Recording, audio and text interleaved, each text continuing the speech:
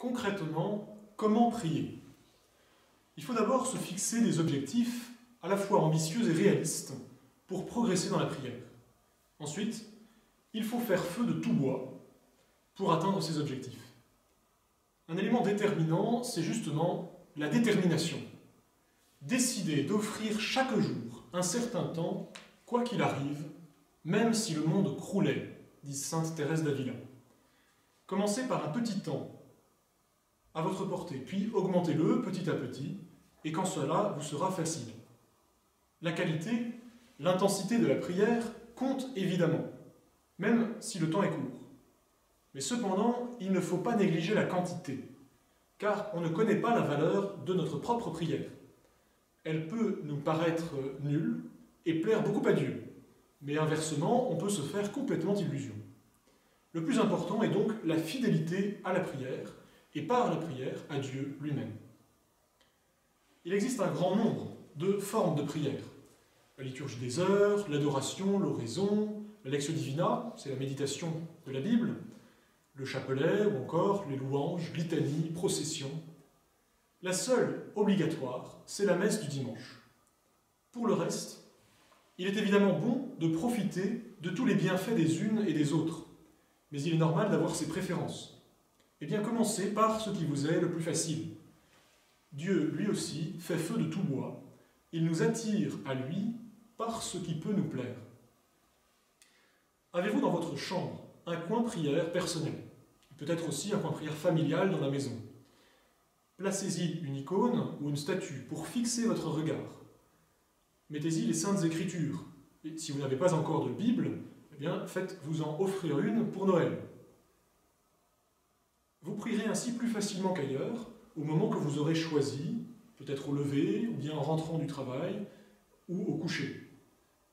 Gardez non loin de là, peut-être, un carnet où vous noterez les grâces reçues, les questions à approfondir, les intentions à présenter. On ne prie pas non plus dans n'importe quelle position.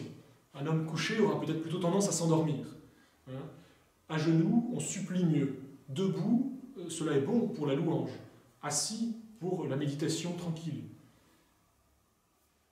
Ça dépend toujours des circonstances. Cela dit, quel débutant en alpinisme serait assez fou pour s'attaquer à un sommet difficile sans un guide, une carte et une boussole? Est-ce qu'on atteint souvent l'excellence en sport sans un entraîneur, en science sans un maître, en politique sans un conseiller?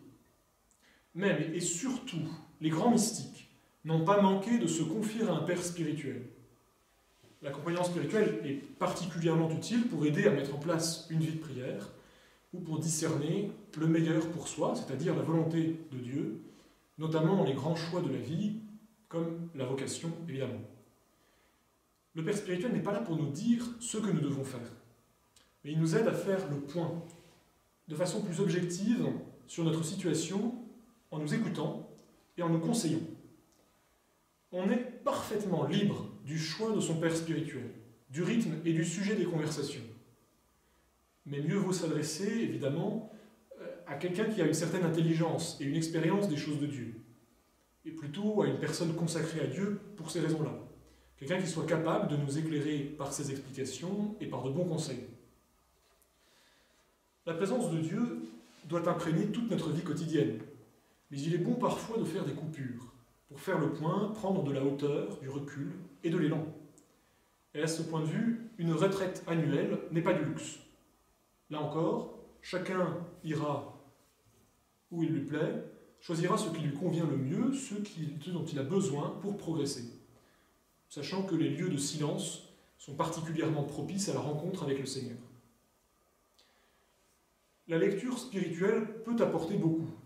La vie et les écrits des saints nourrissent concrètement notre conversation avec Dieu et notamment notre imagination.